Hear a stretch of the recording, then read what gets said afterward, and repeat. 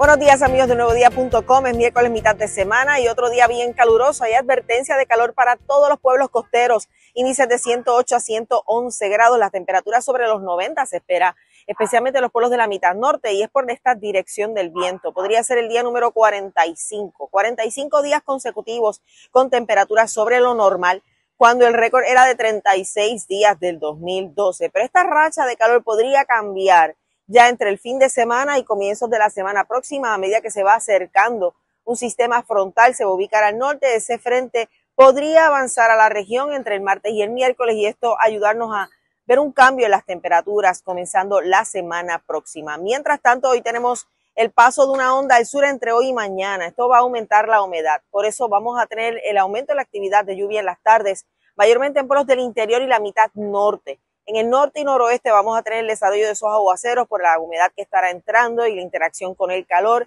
Mañana condiciones similares y en el fin de semana va a continuar variable porque se va a ubicar al norte el sistema frontal y eso todavía va a mantener condiciones inestables, por lo que las tardes van a continuar lluviosas durante el fin de semana, aunque vamos a tener nuestros momentos de sol. De este sistema frontal también están los remanentes de Oscar que se estarán desplazando al norte. En, a largo plazo, lo que estamos observando la semana que viene es la posibilidad de que tengamos cercano ese frente frío que entre el martes y el, miércoles podría avanzar y provocar un aumento en la actividad de lluvia para mediados de la próxima semana. El oleaje ahora mismo está de 3 a 5 pies, tenemos riesgo moderado de corrientes marinas, pero va a aumentar en el fin de semana a medida que se ubique al norte este frente frío y se espera que esté entre 5 a 7 pies con un y aumente el riesgo de corrientes marinas para el fin de semana en las playas del norte. Echándole un vistazo al Atlántico, todo está tranquilo, no hay zonas de sospecha de desarrollo tropical, pero ayer el Centro de Predicción Climática de la NOAA actualizó su pronóstico para las próximas dos semanas. Recuerden que es un pronóstico que se hace todos los martes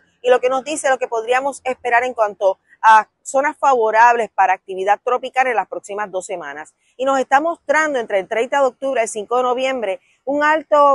alta probabilidad de ver esta zona favorable para el desarrollo de sistemas tropicales en aguas del Mar Caribe, cercano a Centroamérica y también al norte de Cuba y la,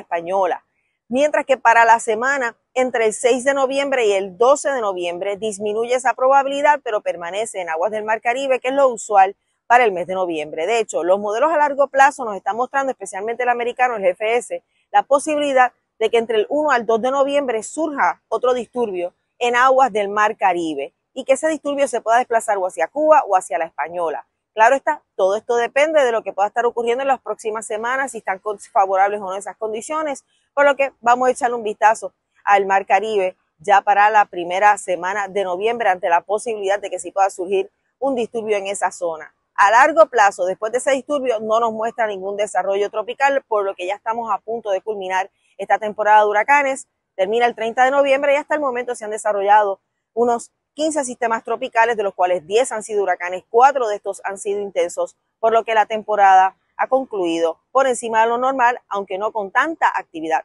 como la que se esperaba, pero todavía no ha terminado, termina el 3 de noviembre, siempre es bien importante estar atentos. Que tengan todos un buen día.